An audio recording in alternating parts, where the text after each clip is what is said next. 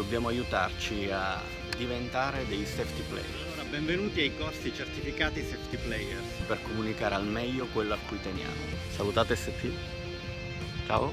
Siamo in azienda, secondo voi il preposto dove lo mettiamo? A fare il mediano? Safety Players è questo tentativo di insegnare la sicurezza come fosse una disciplina. Mettiamo che siamo in cantiere, il direttore lavori dove lo posizioniamo? Si capisce? eh? Bene, ok. Iscrivetevi al canale, mettete un like alla pagina e ci vediamo al prossimo video. Corsi certificati Safety Players.